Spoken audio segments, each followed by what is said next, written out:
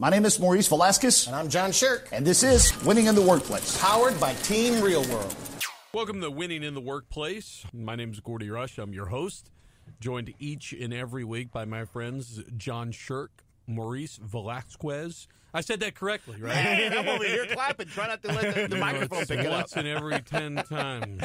hey, Gordy, it took me about seven years for me to learn how to pronounce it. So it's you know, okay. it's it's okay. I've got people calling me up saying, "Hey, you butchered that." Anyway, these guys are from Team Real World. They're the best in business consultants. Thank you, Gordy. And guys, we you know one of my favorite topics is.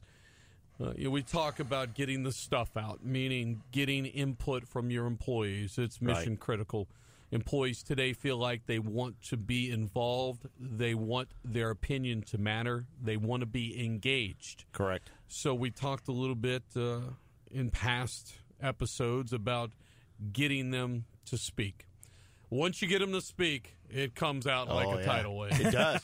So It does. our Yes, topic does. right now is what do you do once you get all the stuff on the table? Yeah, and well- it becomes a lot of stuff. It and is. there's some drama in the stuff, mm-hmm. and you got to manage through the stuff. So how do you deal Yeah. once all the problems come out? Uh, First thing, I appreciate you saying all that. Yeah. Managers just need to realize there is no getting around it. Oh. You have to go straight to the issues, be willing to go listen, and understand that what you're going to confront are three real layers. First, of drama. Mm-hmm. It's things have built up so much that the first layer that you're going to confront is a lot of drama. The second layer, as you work through, is a layer of anger. You know, and then the then the final layer is one of frustration and loss of hope that nothing's going to get done. And then uh, uh, we'll talk in a second how to do that. But once you, once a manager is able to work through those layers, what's interesting is employees tend to recognize that if you're willing to sit with me for the n- minutes necessary to get to the issue and hear me out and just and just vent, Yep. you know, I'll I'll start telling you what the real issue is, and not only I'll not only tell you what the issue is, I'll tell you the way it's worked in the past. Hmm. I'll even tell you the process has been broken, and I'll even tell you the way we've all agreed to do it, but we're not given permission or it's been changed on us. In other words, once you get, it's worth. Bottom line, it's worth to work through those layers to get to the issue because you're not just going to hear the the problems. They will start telling you ways to solve it. And the good thing about you guys are you're kind of like emergency management. That's really crisis good. Management. You know, when like a, the water breaks somewhere, it's not your first rodeo. You've seen it before. Oh yeah, And you get the managers like, oh my gosh, what did I just do? oh yeah. I unleashed the volcano of employee stuff, and I've got hot lava all around me, up to my right. neck. That's Help right. me, John and Maurice. well, the first, the first, the first thing to do is this: is to uh, let the department that you're going to be talking with. You said, "Hey guys, we want to meet for an hour and a half." Conference room, and let's talk about these issues. And yes, you guys are probably accustomed to the fact that we don't listen. We've learned some skills, and we want to show you that we are learning how to listen. So give us another shot at this, and just say that in the email that goes out. Be willing to acknowledge that we haven't done a good job of listening in the past, but we're going to listen. Okay. Can I even just say something more fundamental or more Sure, rudimentary, Yeah. even than what you're saying, Maurice? It is we t- we meet lots of rookie managers in particular. This is now I'm talking about the first couple of years in which they've been a manager. They used to be a frontliner. There are lots and lots of this this crowd out there. The realization that is so relieving for them is that this handling these things, it turns out that's their job. There's lots of them who don't realize anything beyond my job is to tell those people what to do and to ask the people above me what do they want. And when the people don't do what I want them to do, then they come up to us in the conference and they say, John, my people won't do what I tell them to do. What should I do? Yeah. And they don't realize that once this floodgate of sometimes difficult to hear stuff comes to them, they, their job is finally now beginning to happen. They- Correct. this- all this is it's a even though it's difficult to hear, it's good news. It's it's even if it's hard, it's good. I think that's the hard thing for managers is that you know you hear some stuff that's hard to hear, and you guys sitting down and basically saying, "Hey, they're thinking it, and that's the perception." Yeah. So either you can try and deal with it head on, or the perception's just going to exist and you're never going to hear about Correct. it. Yeah. So Correct. which would you prefer? Right. Exactly. Yeah, Right. That's right. absolutely, absolutely. Uh, and what I would throw in there as well is that uh, we we quickly get them to where they just put all that stuff on one page. Yeah. So what happens is this: you first send that email and tell them, guys, we're going to talk about the real issues that we know you guys are facing every day. Now, at that point, the employees they're not going to believe you. You go into the meeting and you repeat yourself, guys. We're here to listen, and we know from what we've heard and what we've heard from you guys, there's about five to six major issues that are really frustrating you guys that that for some reason or another we have not resolved and we haven't been listened to. And here's what we've heard so far. Number one all of y'all's executive assistants and your administrative assistants are overwhelmed. And for the past seven months, you guys have requested either more assistance, get more help, or figure somehow to streamline the paperwork. And we haven't listened to you. Number one, you guys feel that the accounts that are being distributed, we're using about 26 different processes, and we're showing a lot of favoritism as to who gets the account. And some people are making more money that have been here less than those senior people that should be handled different accounts, and we're not being fair about this. Number three, the Lafayette office and the Hammond office seem to be using different processes, and somehow we're favoring, favoring them more than what we tell you guys, and yet we're mm-hmm. the home office. And finally, there's a parking lot issue in which somehow it's caused a lot of angst. Are we anywhere in the ballpark?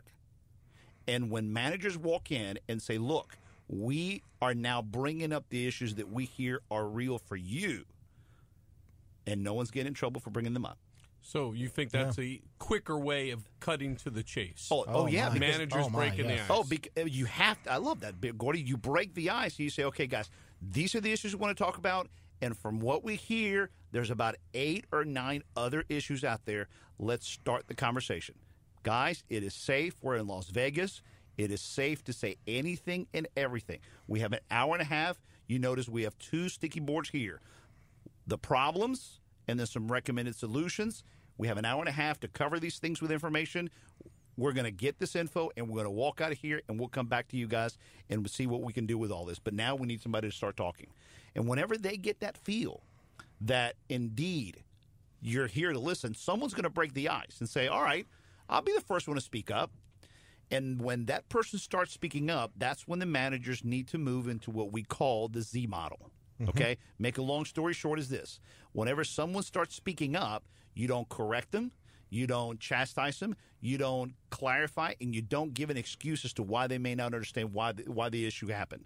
What you say is you say, all right, so what you're saying is that, and then you start repeating back what they say, and you start writing on the board the one line or two line that best captures the issue. Mm. And you say, so let me ask you, Tommy, you're basically saying that unless we address this issue of how the faxing is taking care, how the scanning is taking place in the outside offices, all the other paperwork issues are not as important. You consider that to be yes. All right. How, how many of you agree with him?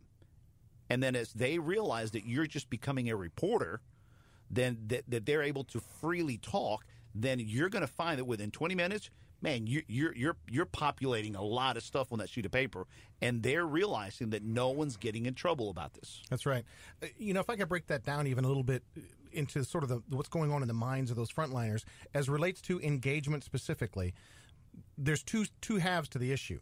There's the half where there's these things that are actually getting in the way, literally, physically, tools kind of things or whatever, getting in the way of the work. And then there's what's going on in their head that's keeping them from being engaged in the work, right?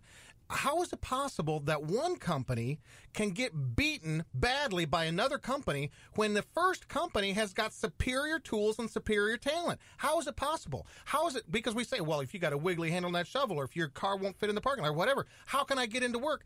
You know what? When those guys are engaged because someone is listening before the problem is fixed, when someone is get engaged because they're listening, they'll walk to work. Oh yeah, without They'll do it with the wiggly handle. just last Friday, John and I and one of our other consultants, we did this exercise at a financial consulting firm. Okay, and we asked the managers not to show up. Why? Because we needed to talk to the fu- to the frontliners. Okay, mm-hmm. these are highly paid individuals, and they started telling us. And- And as they talked, one of our consultants would write it on the sheet of paper on the, on the sticky board, and they realized that we were capturing everything they were saying. We were validating what they were saying. We understood what they were saying.